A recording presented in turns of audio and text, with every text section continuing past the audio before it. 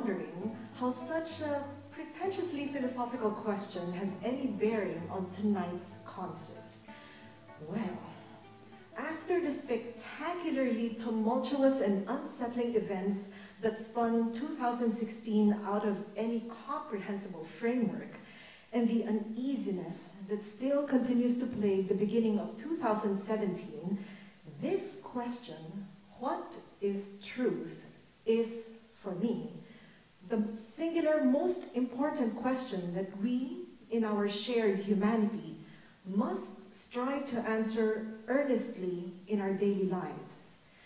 Discerning whether the words spoken by world leaders are based on actual facts or alternative facts, or trying to ascertain if the opinions scrolling through our social media feed are based on credible and verifiable sources, or are merely a concerted effort to expand the echo chamber of our own thoughts, or judging if the witness on the stand is telling the whole truth or has a hidden agenda, now more than ever, we need to cultivate our minds to develop the tools that will enable us to decipher what is the truth.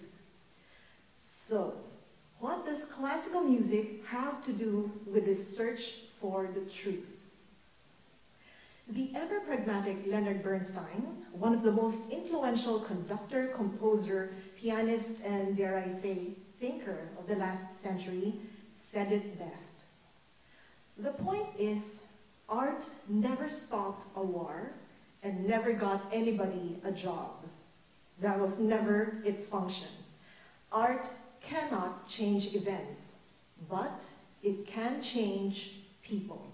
It can affect people so that they are changed because people are changed by art, enriched, ennobled, encouraged.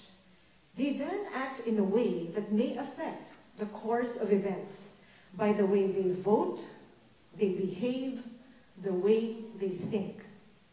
It seems Bernstein was more prescient than even he himself might have thought. So that is the task that we, as performing artists and music lovers, have set ourselves before you tonight as we present to you a menu of main courses by three revolutionary composers whose music will stir such deep emotions and provoke such riotous thoughts that these but open up your senses to new perspectives. The aim is not to grasp the meaning of the music in its entirety. That is not a possible goal in classical music, and is probably not even the most desirable goal. What is infinitely more palatable is to give yourself over to a sensory journey that opens your ears, eyes, taste buds, thoughts, and feelings to heightened possibilities. Because it is only in opening up to possibilities that we really learn to listen. And it is only in listening that you can possibly arrive at the truth. We open tonight's musical feast with Wolfgang Amadeus Mozart's seminal Quintet in E-flat major for piano and winds, specifically oboe, clarinet, French horn, and bassoon. A seemingly innocuous chamber piece that, in retrospect, marked a turning point in Mozart's compositional evolution. Mozart finished penning this quintet in March 1784, and he wrote to his father Leopold that it was the best thing that he had written so far in his life.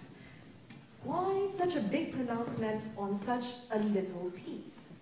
Well, Mozart was finally at that point in his life that he could claim some modicum of financial success and independence. Perhaps he felt that he was freer to experiment with musical forms now that he was not beholden to one benefactor. His next big opera, The Marriage of Figaro, the work that would spark the French Revolution, was still two years away. Instead, during this time, he concentrated his efforts on piano concertos, six of which he wrote in the same year, and three more the following year in 1785.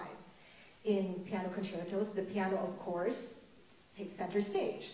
In this quintet, we can't help but notice that the piano still plays a prominent role, especially in the first movement. It almost takes a leading role, stating the theme first before the winds take it up in turns, singly or in pairs. Let's take a listen.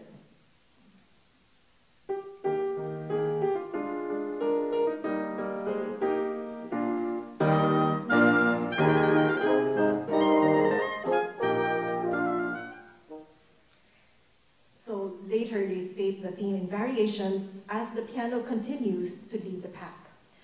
But by the second movement, a gentle and lightly textured larghetto, the wind instruments at last emerge with passages of their own and the balance of the piece is definitely more chamber-like.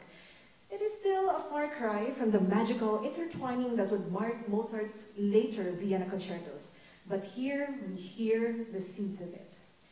Mozart is legendary for putting his musical works to paper in almost complete form, without corrections, without erasures. But the extensive sketches of this particular quintet that, that, was found reveal that Mozart assiduously reworked the lines of the winds to get the right balance, and the result is a charming piece that gives the impression of ease and spontaneity, belying the struggle that even the great Mozart had to go through. But another important aspect that we should not lose sight of is that the dialogue between the disparate instruments is a perfect metaphor for how discussions between differing opinions should be conducted. Sometimes a stronger voice would lead and the rest would follow. But balance is better achieved when each voice is given a chance to be heard. This is the daily ritual that chamber performers go through. Not overpowering each other, but listening to each other until dissonance transforms into harmony. That is the true magic that this Mozartian meal offers up to you.